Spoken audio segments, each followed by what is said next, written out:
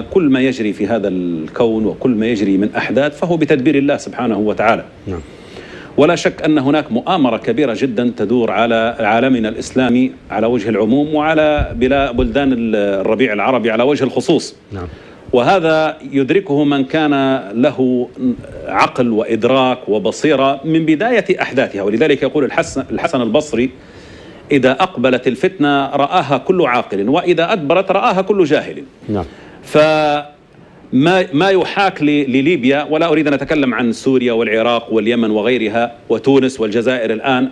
ما يحاك لليبيا منذ انطلاقتها ثورة 17 فبراير وهناك مؤامرات تقوم بها دول وشخصيات شخصيات وهيئات وأموال تدفع. نعم. الليبيون لا يريدون أن يبصرونها.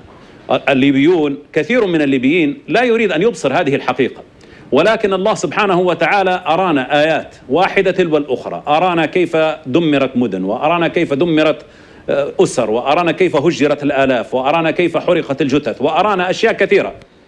ومع ذلك كثير من الناس لا يريد آه، لا يريد أن يبصر هذه الحقيقة. الآن الحريق في بيوتنا. نعم. هذا الإنسان هذا المشروع الذي يمثله حفتر ومن معه حريق يريد أن يحرق الأخضر واليابس.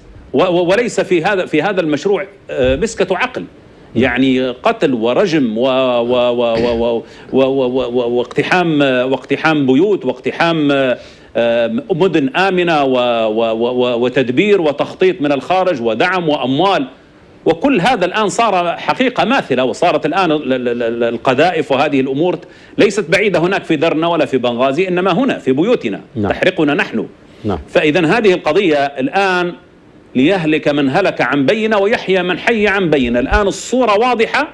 نعم. وما يزوره الإعلام من ثمان سنوات الآن سقط زيفه وظهر للناس جليا.